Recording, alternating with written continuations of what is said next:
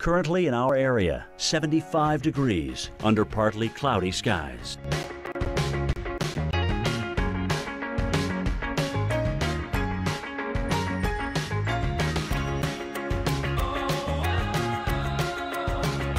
Tonight, a stray shower or thunderstorm is possible early. Partly cloudy skies. Low 65.